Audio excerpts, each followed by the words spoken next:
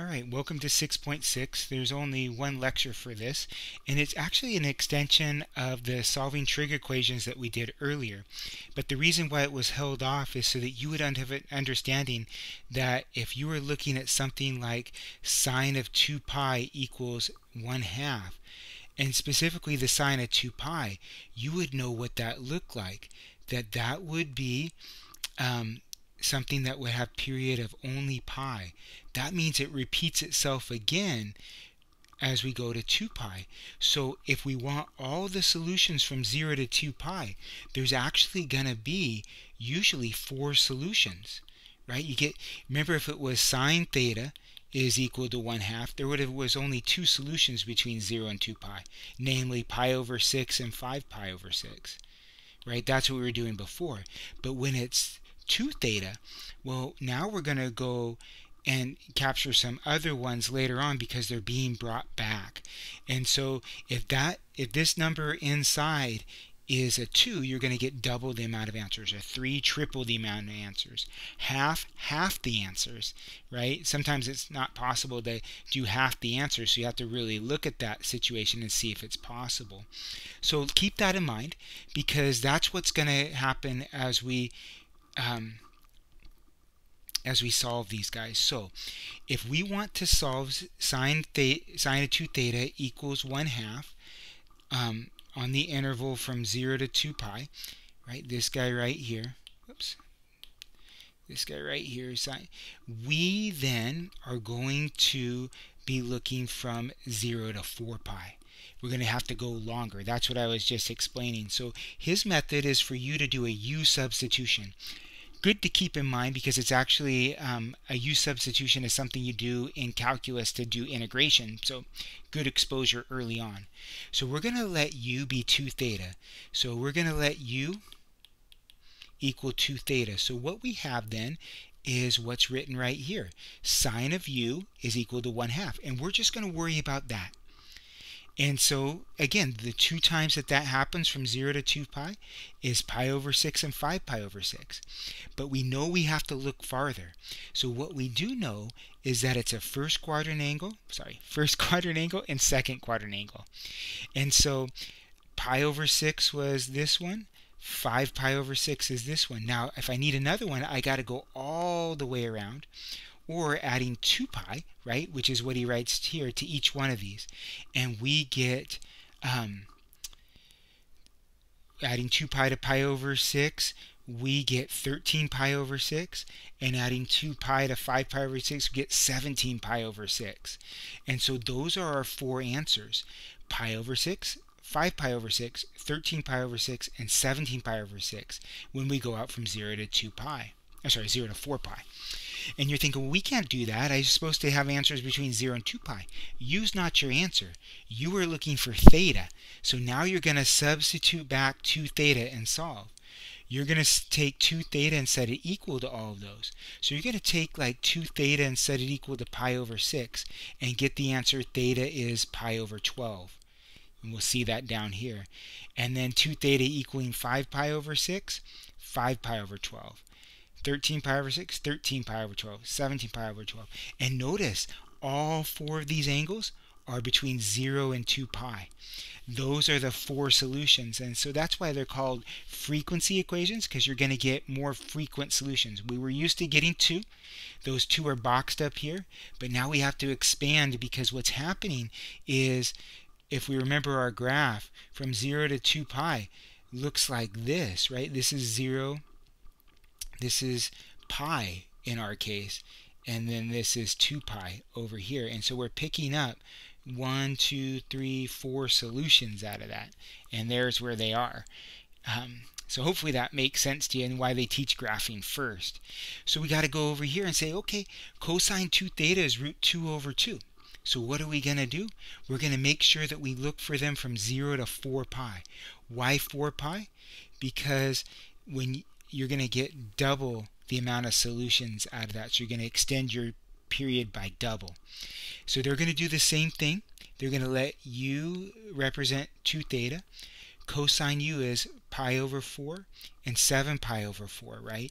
Because cosine is positive in the first and fourth quadrants. And so they're just naming those. Now they're going to add 2 pi to them.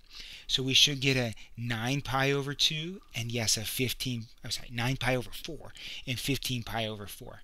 So the four solutions from 0 to 4 pi for you are pi over 4, 7 pi over 4, 9 pi over 4, and 15 pi over 4. And now we got to bring them all back in by doing the 2 theta. So we're going to get everybody halved, and we're going to get pi over 8, 7 pi over 8, 9 pi over 8, and 15 pi over 8. Just barely sneaking in under 16 pi over 8, which is 2 pi. Awesome. That's what we're going to do um, as we go through that homework. So tangent 3x is equal to 1. So how many solutions are we expecting here with 3? I'm making it big so you can't see down below, or maybe you're looking online at the same time. You are going to get triple the amount of solutions. So what's happening is, is you're letting u be equal to 2 theta. And you're saying, hey, u, um, if you're just going from 0 to 2 pi, um, there's only two times that happens all students take calculus. There's two times that it's 1 in the first quadrant and in the fourth quadrant. Or sorry, first quadrant and in the third quadrant. And so we're going to have a pi over 4 and we're going to have a 3 pi over 4. But we got to keep adding 2 pi's to those, right, as we go through. Or actually, we could just add pi until we get six solutions. So we got pi over 4, 3 pi over 4. Um, what's the next one going to be? Adding 2, I'll just keep the model of adding 2 pi. That'd be 9 pi over 4. Adding 2 pi would be um, 11 pi over 4. Adding 2 pi would be 17 pi over 4. And adding 2 pi would be, um, to this one, would be 19 pi's over 4. Okay, so notice what's happening each time. Um, as we go forward. Let's make sure they got the same ones. Okay, so they're going to have a bunch of ones. Let's see if we got the same with pi over 4, 5 pi over 4, 9 pi over 4, and then it looks like I made a mistake. Um, so where would the next one be? If I was looking at 3 pi over 4, maybe that's where I made my mistake. That's it. I made it right in the beginning. And I knew it didn't feel right. And so that's why I did that. But this should have been in the third quadrant. So my 9 and my 17 are right. But this should have been a 13 pi and plus 8, 8 plus 13 is 21 pi over 4. And let's see if we're looking at that 17 pi over 4 and 18 pi over 4. Um, and so plus 8 is 17, 9 pi, 13 pi over 4, 17 pi over 4 and 18 pi over 4. Um, I don't know if that's 18.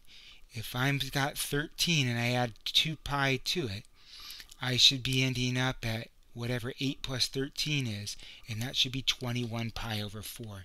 So we'll check it out. So I believe this is 21 pi over 4, and we'll check it in the end. Okay, so 21 pi over 4. That is sneaking in just underneath 6 pi. Um, and now we're going to divide everybody by 3. And as we divide each one by 3, we're going to get 12s underneath. And so I think that this last one is 21 pi over 12, which would be below 2 pi. So let's check and see if I'm right, because I'm matching on all the other ones. So 21 pi over 4, let's plug it in. What we're claiming is that tangent, uh, let's go back to the original equation. Tangent of 3x is equal to 1. So let's look, so we got to look at tangent of 3x, and we want to make sure that's equal to 1. So let's take the tangent. Let's first look at his 18 pi over 12. Let's see what that is. So that's tangent of 18 pi over 4. Okay, and what is that? That's tangent of 9 pi over 2. We got a problem because that's not a pi over 4 angle. It needed to be an odd number, not an even one. So his 18 was incorrect. This is 9 pi over 2. You know that any pi over 2 is undefined for tangent right? Because it has those asymptotes right there. So we found a, another typo in there, but let's check our 21 pi over 12. Let's just make sure that that one works. So we're going to come in here, and I'll grab my pen again. I'll put it in red. 3 times 21 pi over 4. Well, what's that? We want to see if it's 1. Well, that's tangent of, um, oh, sorry, 21 pi over 12, right? Which would be 21 pi over 4. Well, where is 21 pi over 4? Pretty close to 20 pi over 4, but 1 pi over 4 beyond it. 20 pi over 4 would be right here because that's 5 pi. And we're right here in the third quadrant, you betcha we're positive 1. Awesome. Right, so it's a 21 pi over 4. You can make that change as well. Okay, so good thing we've coming across this. Now, as we go to example 4 and look at this, we're expecting half the solutions. So we're not going to look everywhere. We're going to only look in half the the range elements. So they're going to let u be theta over 2, and they're only going to find the one time it happens between 0 and pi. Well, you know when cosine is equal to root 3 over 2, that's at pi over 6. And so they're going to, um, I don't know why he notes 11 pi over 6 is out of the domain. Oh yeah, because our domain, we're only looking for 0 to 2 pi because we're looking on half the period. And so that's that's the maximum number of solutions we're going to have. And so this one is only going to have one solution. We shouldn't be surprised that it's one solution when we have a theta over 2 because if it was cosine theta just alone equals root 3 over 2 from 0 to 2 pi, it would have two solutions. So if you're going to put a half in there, just like with the others, you're going to get half the solutions. coming out of that. And so we just get that single solution.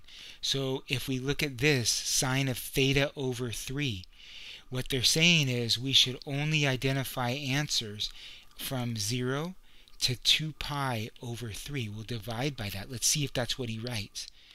Actually, he does 0 to pi okay, not just to 2 pi over 3. So he's not following the exact same thing.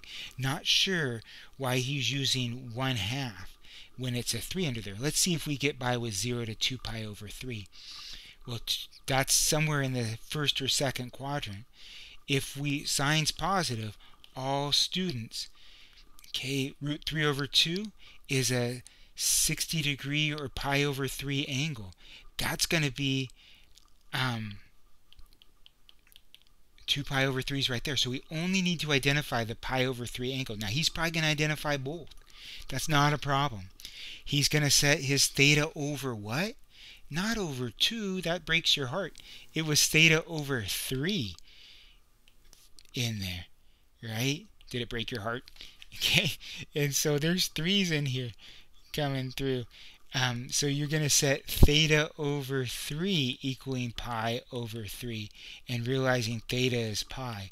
And you could set theta over 3 equaling 2 pi over 3.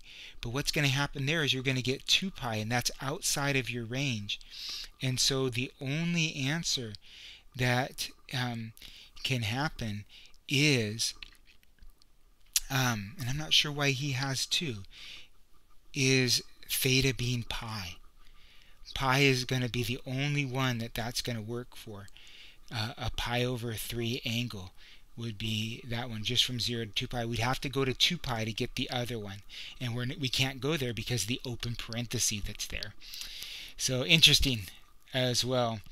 Um, and I can talk to Professor Eitel about the mistake so he can fix them for future classes. Okay, let's see if he does this one right. Yep, in this case, he is going to take the period and cut it down by uh, the, the desired range of values and cut it down by 4 and get a 0 to pi over 2. So he's only looking there. And the only time that tangent theta is going to be equal to root 3 from 0 to pi over 2 is at pi over 3, that first quadrant angle. And then all we have to do is set x over 4 equal to that, and we realize that we get 4 pi over 3 out of that, and that's going to be the only one from 0 to 2 pi that makes that happen. So these um, frequency ones aren't terrible. Um, they're definitely doable. And so as a last one, sine of x over 2 equals negative root 3 over 2. So again, we're expecting one answer. We're going to worry about the only time it happens between 0 and pi. And guess what? Um, for sine of, let's see here, what's going to happen. Let's check this out. So he's saying to only look between 0 and pi. So if we only look in quadrant 1 and quadrant 2, sine's never negative. And so you're done. There is no solution that could happen that way. There is nothing that you could have from 0 to 2 pi that would give you a negative root 3 over 2 because all of it would end up in quadrant 1 or 2 and sine's never negative. And so that's what's happening in, in his explanation here. But as soon as you realize you're looking for 0 to pi, there is no way that sine can be negative, and that's why he's coming up with the empty set or no solution. Pretty awesome that he threw that in there as well. So try these in the homework. 6-6 homework should go pretty well. Just remember, if it is, let me just get a big blank area over here. If it's sine of 2x, then you know that you're going to go and get double the amount of solutions. If it's sine of 1 half x, you're going to get half the solutions, right? And you're going to be looking at half those, half the interval. So just remember that as you go forward. Um, and I think he sticks mainly with sines and cosines as he should. Uh, it gets a little bit, we did tangents as well, but it gets weird with cotangents and cosecants. Actually, what we would do is just turn them into their flipped operation. So you probably did this all back in trig again. So um, just a nice reminder.